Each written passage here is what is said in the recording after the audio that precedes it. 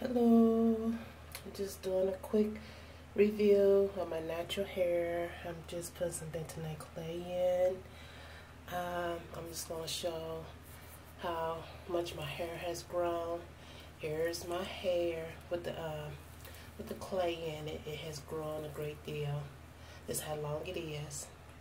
As you can see, um, when I had cut my hair, it was this short. So I do have a picture of that. And here's the result of um, how long my hair has gotten. So I'm just looking in my mirror. So this is my hair. So it's getting long. So I just uh, bentonite clay that um, I just put in my hair. It's um, deep cleanse and um, a detox for the hair. So here you have it. Oh, look at that. Look how long the hair has gotten. You can see.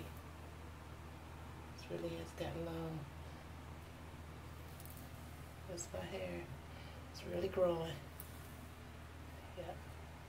That's my hair. So, there we go. go ahead and put a um, plastic cap on it. Let it sit for a little bit and rinse it out. Then proceed on styling it with my um, shea butter. And um, I'm going to braid it up. So, well, I'm going ahead finish up with this. So this more so like an update showing how long my hair is getting. So here we go. So you can still be keeping updates on my hair. Well, I'm to finish this up. So add some more of this clay in.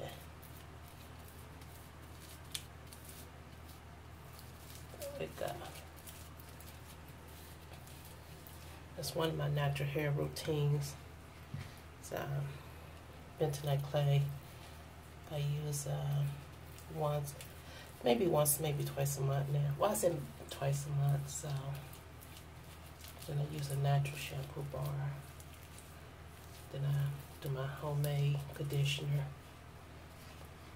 shea butter that I mix some uh, oils, some oils with. So there you have it. So I gotta go go ahead and let this sit about maybe about 10 15 minutes. And uh, be doing an update. Probably in about hmm, I'll do an update on my length. Give it about between three maybe four months from now.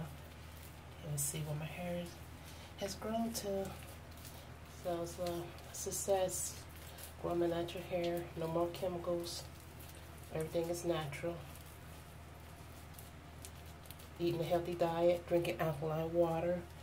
That's a big plus. And uh, keep my hair sprayed with water every other day. That's what's helping with the hair growth.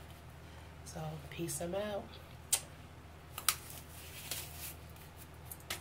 God bless.